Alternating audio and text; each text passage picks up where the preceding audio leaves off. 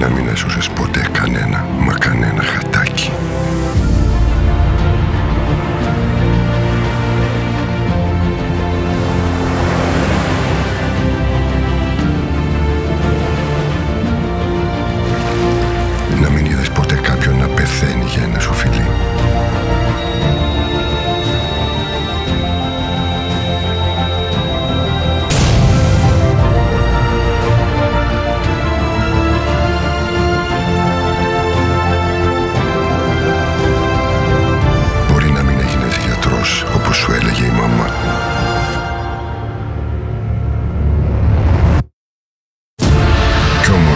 είσαι το ίδιο σημαντικός με αυτούς αφού σώζει ζωές.